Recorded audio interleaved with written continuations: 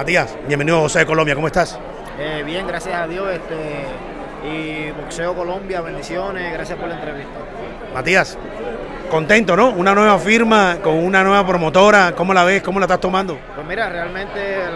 Eh, algo que me enseñó Dios es que en este camino hay que ir paso por paso.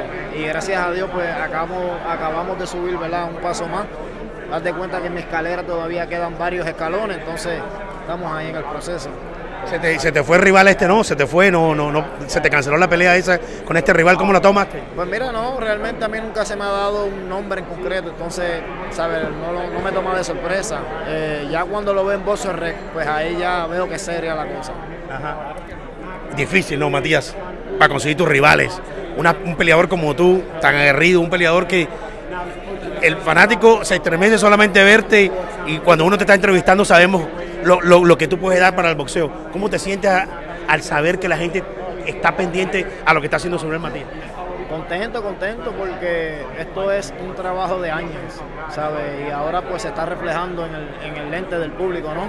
Pero espero en Dios, ¿verdad? Que sigan viendo de que, ¿verdad? Nosotros somos una realidad dentro del boxeo.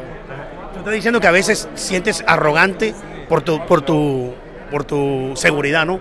Eso a veces cuesta en la vida normal. No, porque yo sé separar, sé separar, ¿sabes? Cuando yo te digo algo es porque mis cojones lo van a sostener.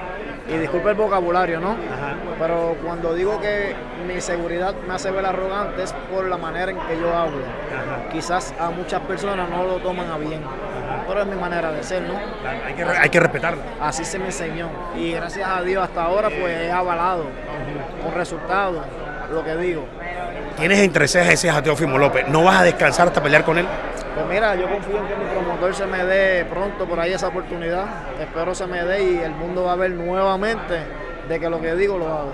Vas a noquear a Teófimo si te enfrentas con él. Ya, estoy Ya lo, ya lo estás diciendo. Ya estoy cansado de decirlo. Ya lo que falta es que lo pongan en su boxer red. Es cuestión de tiempo. Ok.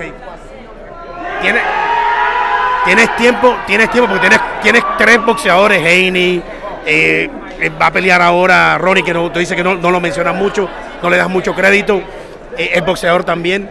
Son cuatro boxeadores que están a la espera de un subir Matías. ¿A los cuatro te los quiere enfrentar poco a poco o lo que venga cuando un promotor te va a hablar contigo? Si por mí fuera, si yo fuera promotor hace rato, hubiera hecho un torneo en la 140 de los cuatro campeones y que salga uno.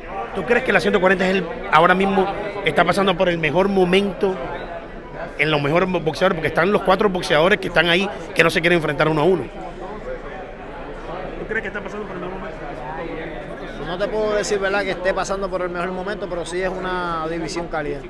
Mientras esté yo, es caliente. Dale, muchas gracias. ¿ah? Suerte para tu próxima pelea. Muchas gracias.